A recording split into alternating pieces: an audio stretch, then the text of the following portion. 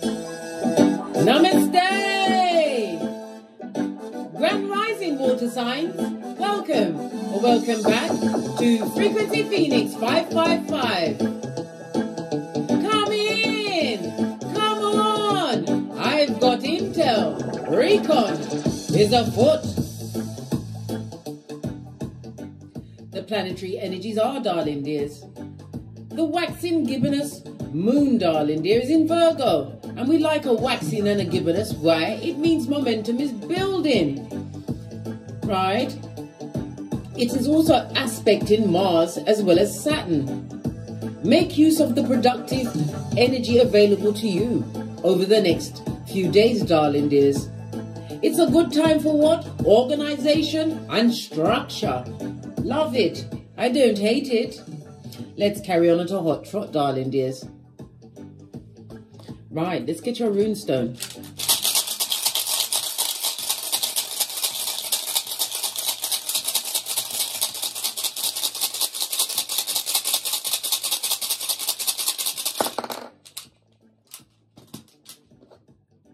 Oh, you have Inguz. Inguz is represented by the Emperor in tarot, darling dears. Mm-hmm. Lean in, big cat. Lean in. It's represented by the letters N and G, as well as the number 13. It speaks about uh, being in a position of power. Somebody's also what? Possibly getting a promotion or starting a business, darling dears, or being chosen as the leader of the pack. It speaks about common sense, which is a superpower amongst some, especially the feeble minded. Mm-hmm. It speaks about the family. It's about home. It's about creating a true structure in your life, darling dears. The Emperor is represented by the number four. In numerology, the number four speaks about what manifestation mode, as well again as well as structure and stability. In numerology, the number four rules Leo as well as Aquarius energy. It speaks about wanting to create some kind of order and be more reliable and, as well as disciplined. For others, it speaks about the approaching of a future partner. Mm-hmm. One which is an authority figure, possibly um, a business owner or somebody who's an entrepreneur or somebody who is who is always chosen to be the leader or the lead speaker in a group. It also speaks for others. It speaks about some big news is on the way. Mm-hmm. It, it's a reminder to be fearless and face everything, darling dear. Because as a big cat, you face everything and rise. Mm-hmm. Love it. Don't hate it. It also speaks about what? Making a head over heart decision. If you have a decision to make, darling dear, Think of it in a more logical aspect, darling dears. Why? Because Saturn is being bandied around with Mars, darling dear, and Saturn loves the rules and regulations. And Mars can make you rush into a situation without thinking it through if you're not careful. But use the analytic skills of the Virgo, darling dears. Why? Because Virgo is ruled by Mercury. Mm-hmm. And Mercury reminds you to have a rational mind. It also speaks about a short journey. Many will be taking a short journey over the next few days. For others, it's what? A journey to an interview, or you'll be interviewing someone. Mm-hmm. If you are being interviewed, darling dear, expect to get a job. Mercury also rules Wednesday, which is significant for some. I feel inclined to get a domino.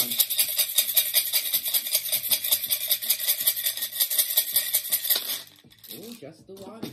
We have the blank and the one. Energy of the Fool, Uranus, as well as air energy and the magician. Again, air energy and Mercury energy, darling dears. It, the Fool is, you see, in the tarot cards, the Fool is the only card that is zero, which is not really a number, but it speaks about you having the potential to what become anything. And in this case, it's saying the magician having all of the tools to manifest whatever you want. But then again, you have to remember to be wise. Because what? With responsibility, darling dear becomes comes a lot of what honor and forethought. Heavy is the head that wears the crown. Mm-hmm. The blank one speaks about what an enemy. Somebody's not happy about what you've got going on, darling dear. They're working in the background like Littlefinger, trying to what? Muddy your waters. Pay attention and use your intuition in every situation. because we also have Inguz. This is someone that may have had some form of authority in your life, but it's about taking a leap of faith in a different direction. The Fool card is ruled by what? Uranus. Uranus is about the sudden change of it all, darling dears. Uranus is the higher octave of Mercury, so it speaks about somebody wanting their freedom. And this is what? An unpredictable change for you, darling dear. This new change for you, darling, dear, is going to seem as though it's a genius idea, and it is. Why? Because you're a big cat, darling dear, and you are a prototype of your lineage. Mm hmm Love it. Let's get your oracle message around that. We're going to use the True Love Oracle for this.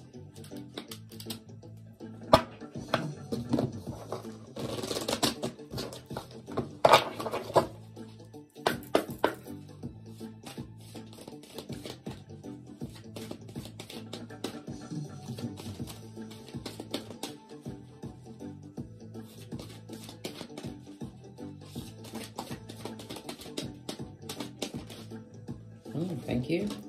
The first one is your creativity, darling dear.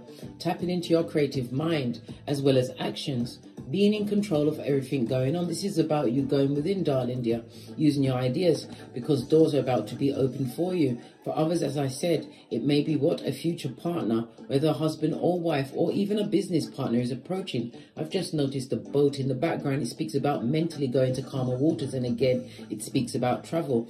Remembering to take what? The higher road, darling dear, or seeing things from a a bigger perspective. Look at the whole picture, darling dears. This is not the time to make impetuous moves. It has to be well thought out. It's as though you are playing what? Chess, not checkers. Being creative, darling dear. Mm, mm.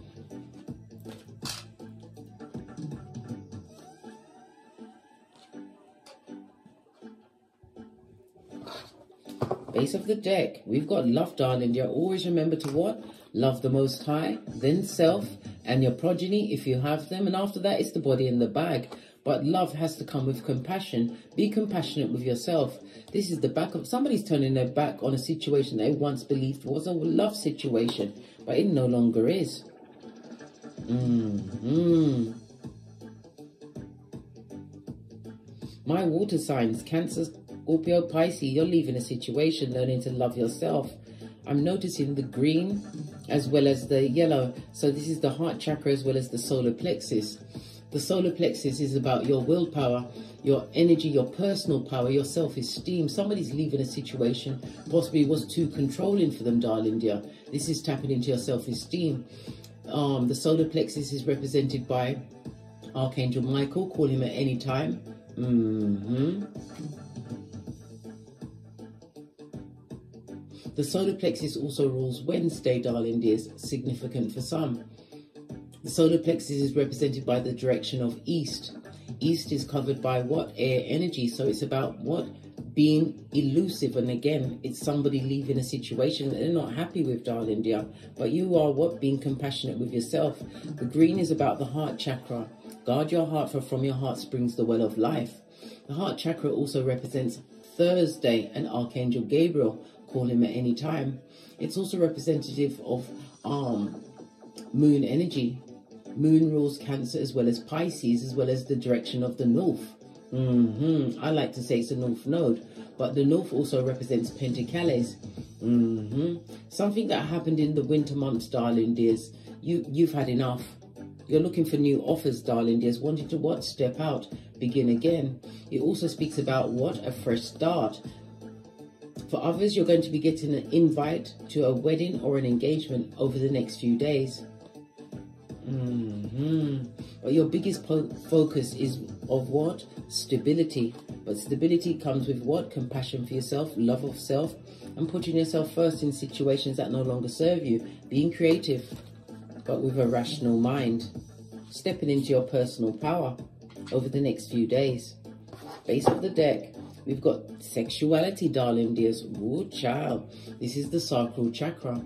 Maybe it was sexuality that tied you to a situation that no longer serves you, represented by Tuesday, Archangel Haniel, call him at any time, ruled by Venus, which is Taurus, as well as Libra energy.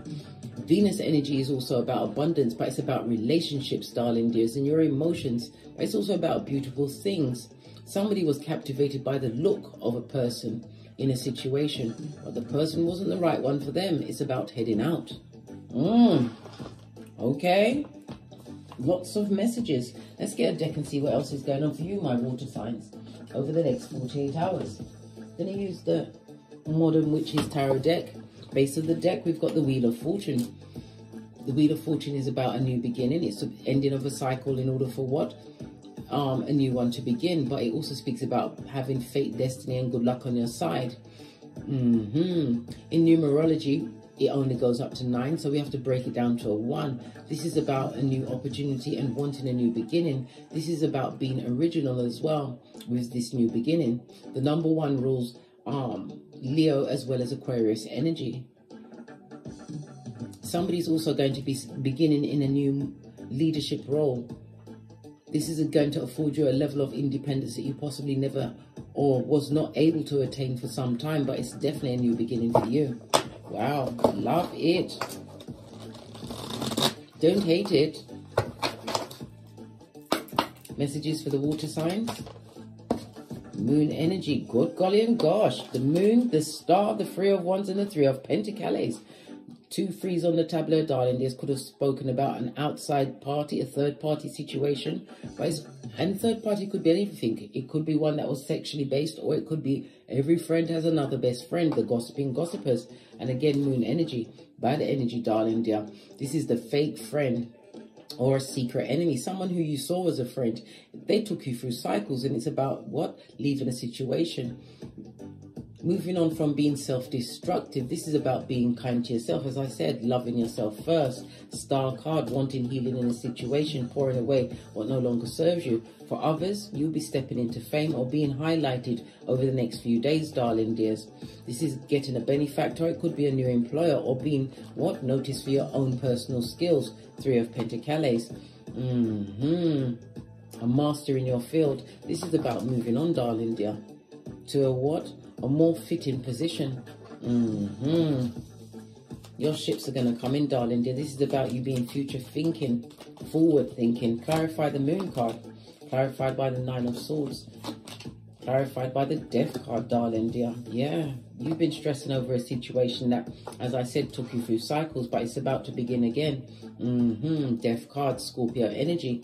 This is um this is um the possibilities. It also speaks about a painful breakup or a painful ending to a situation, but it was a life-changing event. One where you're going to have to heal, especially if you're thinking about going into a new situation, because we do have a future husband or wife approaching you. But it's about healing first, darling dear, pouring away the baggage from past situations. Yeah, again, you have the Wheel of Fortune because it's a new beginning. Major Arcana on Major Arcana. The Ace of Wands. This was you being stuck for a moment on time, darling dear. And it also speaks about um, sexuality or even um, how can I put it? A fake, somebody who was faking a situation that kept you stuck in a situation. This is about you being spiritually strong, not being tempted off your flip flop of common sense over the next few days. This person was karmic, darling dear, but it's about leaving the situation. Um, the justice is Libra energy, the ending of a partnership, a job, a situation, but this is about you being future thinking. It's the right step for you. Mm -hmm. Two threes on the arm. Tableau speaks about a definite parting of ways. Yeah, magician. And we already had the magician energy on the on the domino as well as the cards. It speaks about what? Manifestation mode. Turning your back on a manipulative situation, Queen of Wands, using your intuition and discernment. Water energy, darling dears. This is about you tapping into your personal power, using your creativity and your energies, right? Mm -hmm. But it's oh, it's also a reminder not to be impulsive. Yeah. Page of Swords, this is somebody who's bitter and spying, leaving them behind, darling dear. Look, turning your back on the situation. Right? Page of Pentacles, somebody who pretended to have everything all together, but this person was a liar. This goes to Four of Pentacles. It speaks about a destabilized foundation, one that cannot be healed. Mm -hmm. Looking for your own emotional happiness moving forward at a hot trot. Eight of Wands This also represents Cupid arrows for some, darling dear. I told you a future partner is approaching with a romantic or platonic, darling dear, but this person is going to be a guide for you. 11, 11 fade, four of wands to bring a stable foundation. This is my um Empress card as well, but it's in the reverse. Somebody was a fake Empress in your life or Emperor. Yeah, look. You're isolating in order to what? Build back up your finances. This is the wounded warrior. It was the best idea. You've got a hand of God. But it's about moving on mentally and not accepting situations or apologies from past people. Why? Because they are back front neck tabbing snakes straight out of Slytherin. They was never your equal, darling dear. Captivated possibly by the sexuality in a situation. Mm. Feel inclined to get another deck. I'm going to use my FP555 Oracle Intel deck. Yeah, you want to keep your circle tight. It's two decks, but I've mixed them together. If you'd like to procure them, please follow the link in the description box below, and you should, you too shall be a owner of said decks. Mm hmm This speaks about what? Reap what you sow. Yes, baby, you're about to get an offer that you can't refuse. Mm hmm Picked up two again. Yeah, but it's an offer from somebody who's a bottom feeder, darling dears, and they're on the edge. This is someone making a desperate bid to keep you in a situation to, look, major arcanas. I said major arcana when I meant to say master number, but we saw many major arcanas. We've already got one here and two over here, darling dears. That goes to a three. Mm-hmm. The numerology of a three. This was a partnership, something that was meant to be unified, but it wasn't the right situation for you.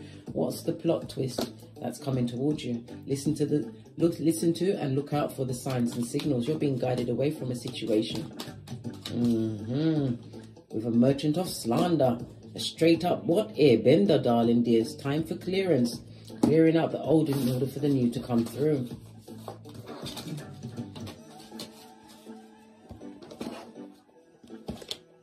Look what got left on the table. Move Moving silencio, darling dears. Mm-hmm. Tell no one nothing. Why? Because people, sometimes people don't appreciate your presence, so you have to give them the time to appreciate your absence forever. You're not joking, darling dear. Move in silence. Let's get some final messages for my water signs for the next few days. Mm. Healing your heart, darling. As I told you, you have to heal your heart. This is healing from heartbreak, freedom from a toxic relationship or addiction. Mm -hmm. Time to let go, darling dears. And as we began to read, we're going to end it on love. Unconditional love, self-love, oneness, passion, affection, and attraction. Yes, darling dear, self-love must come first. Heal yourself, and this is looks like someone packing up their heart and moving on, darling dears. On that note, I drops me mic. Todd over to my Teesprings, Todd over to my Patreon, or simply come back here. And as I always say, don't get smoked. And don't smoke yourself. From the ashes, baby. Namaste. Don't forget to like, subscribe, and share, and hit the notification bell so you'll be notified when I'm kicking my way through these tarot streets again. Until we meet again, Big Cat Wave. Cancer, Scorpio, Pisces, Cat, Cat, Cat.